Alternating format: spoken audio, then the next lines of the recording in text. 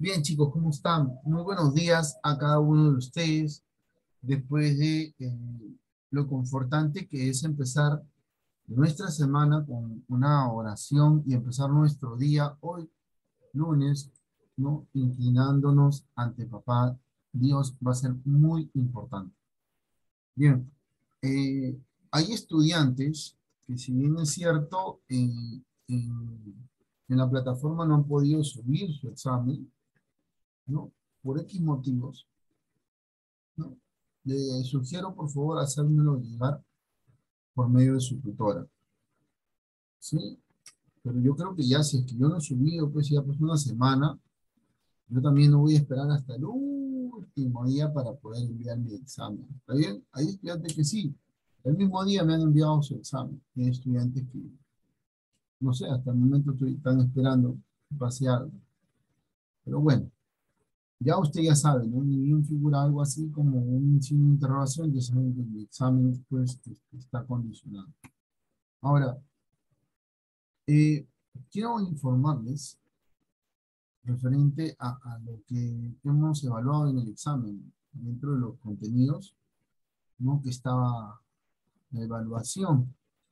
Y el examen ha estado como para que ustedes saquen un 20. Hay estudiantes que me han sacado muy buena nota, como estudiantes que me han preocupado porque los he visto en Claro, hay algunos, ¿no? Los he visto en clase y, de repente quizás mm, no han hecho la anotación de vida. No sé si están viendo ahí. Sí, ¿lo ven ahí? ¿Visualiza, Rosita? Sí. ¿Sí? Pulgar arriba. Sí, así, pulgar arriba. Ok. Justo está entrando Sebastián Pachas. Vamos a esperar ahí un ratito. Ok, ok, gracias. Sebastián Pachas, hijo, ¿me escuchas? ¿Sí?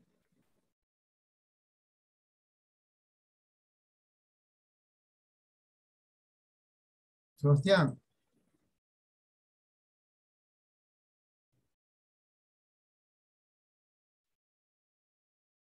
¿Sí me escuchas, hijo? Sebastián, hazme un favor. Eh, mándame tu examen, hijo. Por acá, por interno, por el, por el chat, para poder este, continuar. Mándame tu examen, sí, por favor.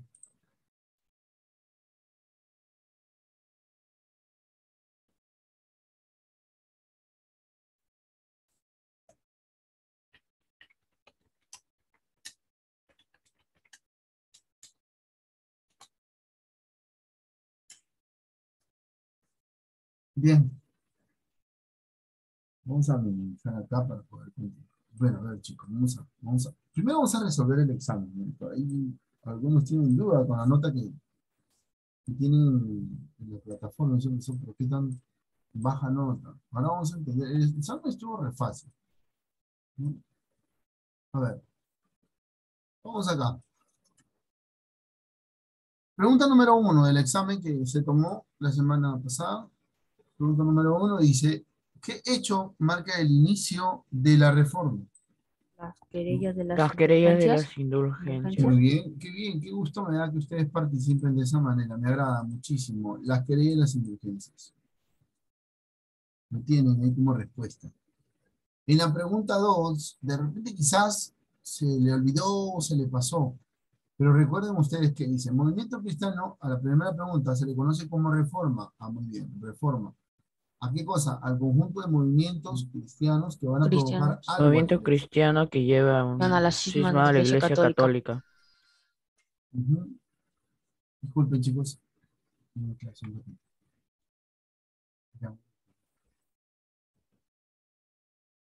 Bien, entonces, en la pregunta número dos se le, se le conoce como reforma al movimiento cristiano que va, que llevó a un cisma, ¿no? No a una asociación porque la iglesia no se va a asociar, Fabricio, no se va a asociar, ¿no? Segundo, eh, mm, si bien es cierto, el movimiento cultural iniciado, iniciador del humanismo no es, para empezar, la reforma no es iniciador del humanismo. Fabricio,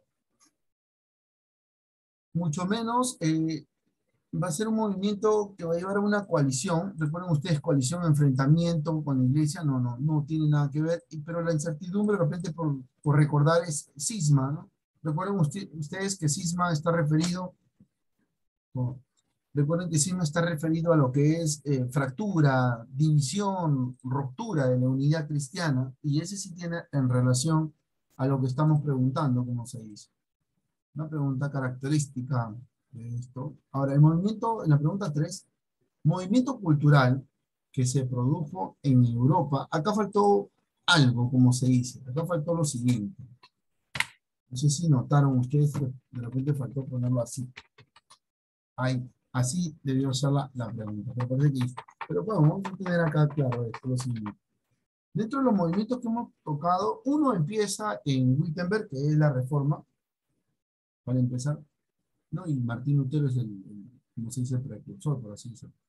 Movimiento, en la 3, vamos a sentarnos acá, movimiento cultural que se produjo en Europa Occidental durante los siglos, ¿no? Acá sí bien marcado, siglo XV, siglo XVI, me puede marcar Luis Nigro, profesor siglo XIV, ¿no? La ciudad de Florencia, tanto puede ser el humanismo como el renacimiento en Italia, así que se le ha considerado a, a todos, se les ha considerado esta pregunta. En la pregunta 4, ya es una pregunta donde nos marca quién es la figura representativa de dónde, de quién, del Renacimiento, no nos dice humanismo, no nos dice otra cosa, y es netamente Leonardo da Vinci. Muy bien, lo que están escribiendo por el chat lo están haciendo muy bien también. ¿ah? En la pregunta 5, acá empezó el dolor de cabeza de alguno de repente, porque yo estaba viendo y había examen que habían marcado pues el, absolutismo. Y yo, wow, no hemos hablado del absolutismo todavía. Eh, humanismo puede ser que lo hayan confundido con el humanismo. Otro de repente el renacimiento. No, muy bien, muy bien, José Paolo, muy bien, mis niños que están escribiendo por el chat. Miren, busca provocar un cambio profundo, un cambio, movimiento cisma que rompió con la unidad cristiana. Ah, busca cambiar un cambio profundo y generalizado en los usos y costumbres de quién? De la iglesia. Estamos hablando de una reforma. Buscó provocar un cambio, porque eso es lo que hizo el humanismo, no, perdón, eso es lo que hizo la reforma. Ahora, la contrarreforma es otra cosa, muy parecida, ¿no? Muy parecida, pero eh, eh, pero ahí la respuesta, como se dice, en la pregunta 5, la A. En la pregunta 6, fue precursor de la reforma, por ejemplo. Una pregunta fácil, ¿ah? precursor de la reforma, iniciador prácticamente. ¿No? ¿Quién? Martín Lutero. Algunos me marcaron Juan Wycliffe y un grupo marcó la A y yo no entiendo por qué marcó la A. Juan Wycliffe. De repente, de repente ustedes vieron o encontraron eh, esa respuesta en, Internet, colgaron la pregunta y la vieron en Internet. Pero no, como dije la vez pasada, no todo lo que dicen nos muestran las respuestas es lo correcto, ¿no? Ahora, si nosotros decimos, ¿no? Por ejemplo, eh, precursor de repente, ustedes de repente encontraron a quien tradució la, la primera Biblia, que fue el primero condenado a, a la hoguera, por así decirlo, ¿no? Por la iglesia que fueron uno de los primeros que fueron condicionados en el castigo por traducir la Biblia. Puede ser, ¿no? pero netamente se le conoce como precursor de qué cosa? De la reforma, aquellos que pues se expresan en contra de la iglesia. Así que está Martín Lutero. Una pregunta facilita, situó, situó, situó al ser humano en el centro mismo de la reflexión. ¿De qué estamos hablando? Humanismo, pues, papá. Humanismo. Vamos viendo ahí, ya más o menos, ya, ya más o menos saben cuál cuánto van teniendo algunos y por qué sacaron esa nota. Vayan verificando. Ahora, autor de las 95 tesis. Eh, pregunta abierta, 9, pregunta abierta. ¿En qué fase del periodo, o fase o periodo del movimiento del Renacimiento llega a su máximo esplendor? Sin que cento, siglo, ¿quién me sopla? ¿Siglo XV o XVI? 16. Okay. Ok, correcto, correcto, muy bien. Aquí está la pregunta como para rascarse un poquito la cabeza. Años en los que se da el concilio de Trento. Mil, ¿qué?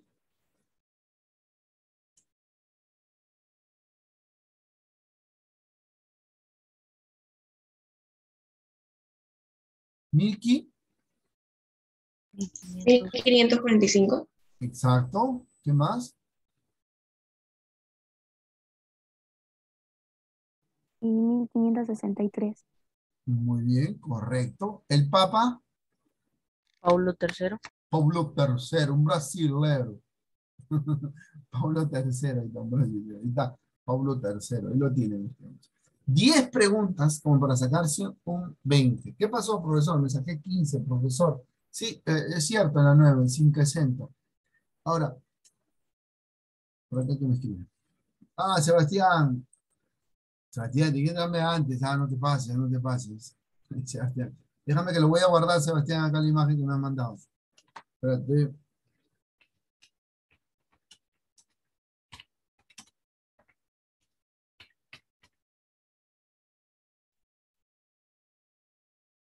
Listo, ya está descargando, espérame. A tener. Listo, lo ya lo tengo. Ahora, miren, escúchenme acá. El examen estuvo para sacarse un 20. Si por ahí usted sacó 16, se sacó 15, sacó 14, ya, el examen ha estado fácil. Pero bueno, mire, escúchenme. Si por ahí usted sacó una baja nota, no quiere decir que esa sea su nota para toda la vida, no. En ese momento de repente usted pasó X cosas, diferentes situaciones que condicionaron que usted se sacara esa nota. Esté tranquilo. Todavía no está perdido, tiene una revancha, el siguiente examen. Así que tranquilo, tranquilo. ¿Sí? Bien. A ver.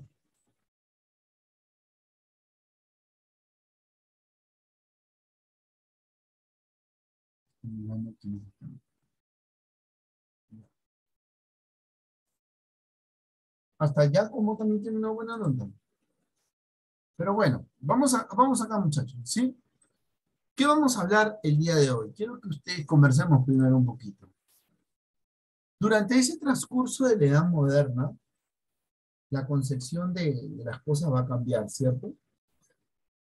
A eso se va a sumar que va a haber grandes descubrimientos. Uno de ellos fue el continente americano, ¿cierto? Claro que cuando Cristóforo Colombo lo descubre, no tiene exactitud. Él piensa que había llegado a las Indias, ¿no?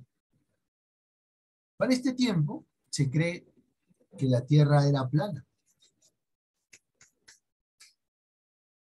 Era plana. Uy, era plana. Acá está. Era plana. Así. Se creía que la Tierra era plana. ¿Cierto? Y que cuando la Tierra se movía, era porque debajo de ella la estaba cargando alguien. Y esa concepción viene de Atlas, ¿se acuerdan? El gigante que carga la Tierra, que carga. Ahora, esa concepción de acerca del universo y de la Tierra y todo, estuvo por años, por años, por tiempos, por muchos tiempos. Y en pleno movimientos y renacimiento, la forma de pensar va a cambiar. El ser humano va a encontrar en lo que es el analizar la respuesta a muchas cosas. Así que Colón fue uno de los primeros en decir, yo creo que la Tierra es redonda. Colón miraba el horizonte, sentado, comiendo una naranja, y se daba cuenta que el barco a lo lejos se hundía. No continuaba el mismo tamaño en línea recta. Se hundía. Claro que hoy en día nosotros sabemos, ¿no? Pues que el barco se baja bordeando la Tierra y no se cae al espacio o no se cae porque hay una fuerza de gravedad, ¿cierto? Que nos mantiene acá en la Tierra. Si no, tú te imaginas que estamos, que estamos haciendo clases así. Hola, Gomero, ¿cómo estás? Roland, ¿te imaginas? Y por ahí Adriana que me conteste, hola, profe, ¿cómo estás? ¿Sí, no? ¿Te imaginas? Si no, hiciera, la gravedad sería espectacular, ¿no? Mismo astronauta, ¿no? ¿no? De pronto ver tus patitas por acá, así, patitas navegando. Profesor, ahorita vengo, voy a traer mi libro. Y regresa y digo, acá estoy. Interesante, ¿no? Pero a ellos estamos retenidos en la tierra, imagínense.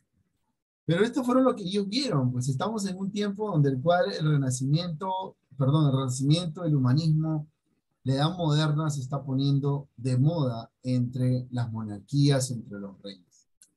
Y en lo que se pone de moda, va surgiendo la necesidad de conocer otros espacios, otros territorios. La, la necesidad de algunos hombres, ¿no? Hombres, digo por así decirlo, hombres, de querer conocer nuevos territorios, de, querer, de querer encontrar ese metal precioso que era llamado el oro, ¿no?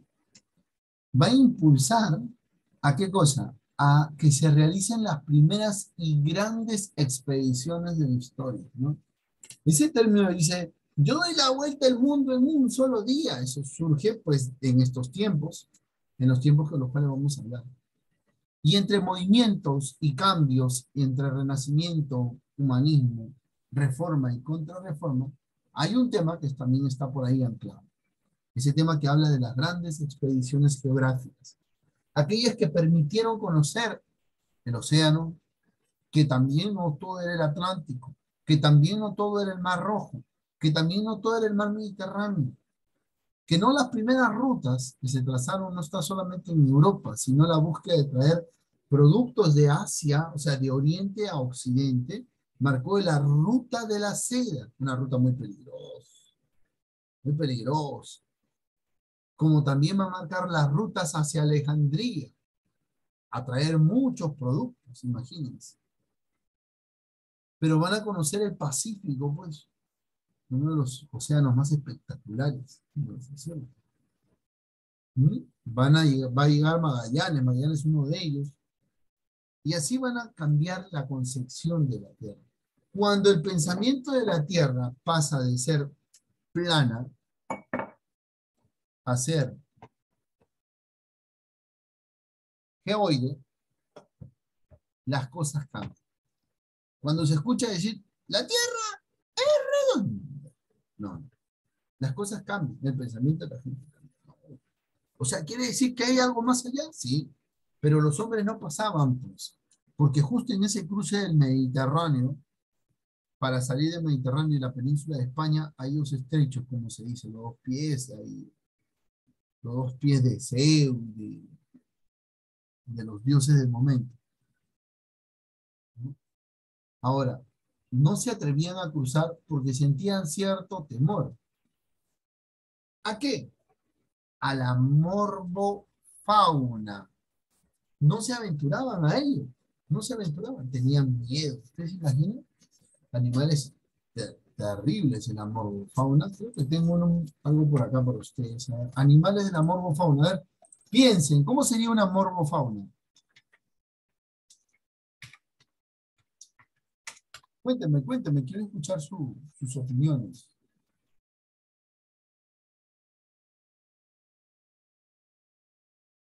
¿Mm?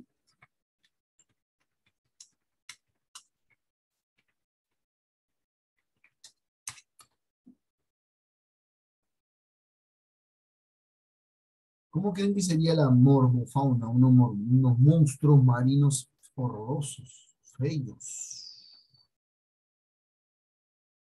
¿Mm?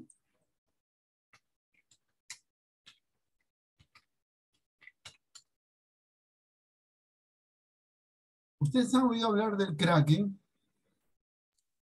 Sí, profesor.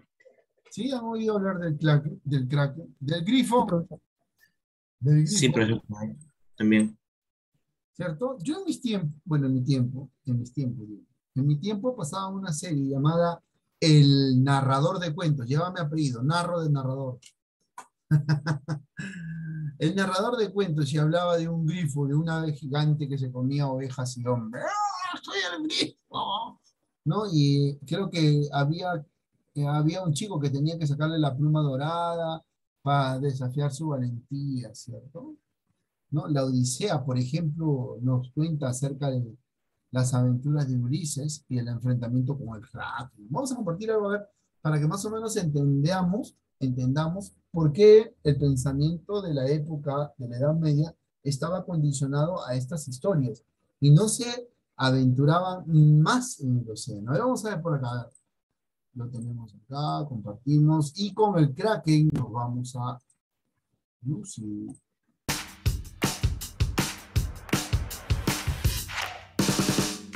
No, no, no. Eso no.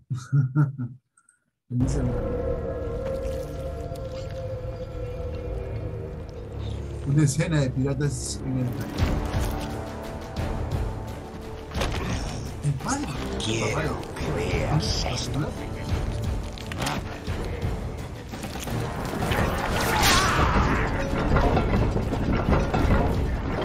Que ya no escuchemos voces felices. Que nadie alce la vista al cielo buscando esperanza. Que este día se maldiga por los que van a despertar.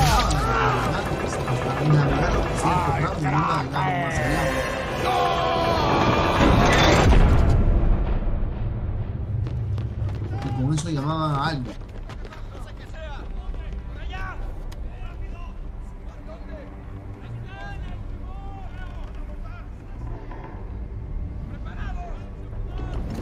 Estamos condenados.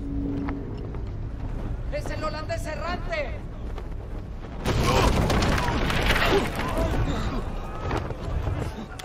¿Qué es lo que pasa? ¿Qué cosa golpeamos?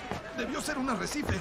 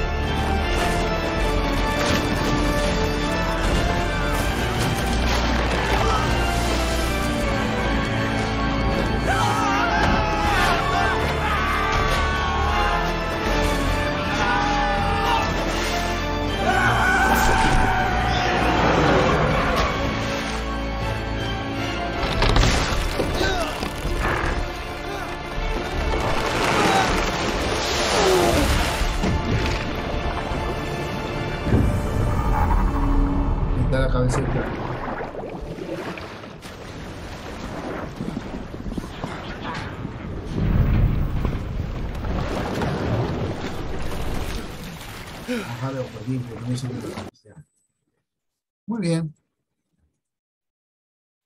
Pues esta situación de, temor a lo que puede haber más allá de lo que ellos conocían era las historias que condicionaban para descubrir. Cuando estas historias empiezan a cuestionar y los navegantes empiezan a romper esa barrera, empiezan a conocer. Así van conociendo primero el Atlántico, claro, el océano que está más cerca del Atlántico, y después el Océano Pacífico, y de ahí el resto de lo que hoy en día es nuestro planeta, nuestra superficie terrestre. Pero la búsqueda, como se dice, de, de, de, encontrar un nuevo mercado, de traer productos de Oriente a Occidente, va a ser la, prácticamente esa curiosidad, esa necesidad de traer esos productos, son los que condicionan para que el hombre pueda surcar y realizar diferentes expediciones. Al regreso de estos 10 minutos que vamos a tener de descanso, vamos a volver y vamos a explicar ¿no? las grandes expediciones que se realizaron justo en este tiempo de la edad moderna y que permitieron también marcar un capítulo en la historia, como el descubrimiento de América, que va a ser muy importante para ustedes conocer algunos detalles que de repente quizás han tocado, pero es necesario mencionarlos dentro de lo que nosotros eh, conocemos y hemos ido estudiando. ¿Sí? Bien, chicos. Nos quedamos hasta aquí. Volvemos en 10 minutos y nos enlazamos nuevamente, ¿sí?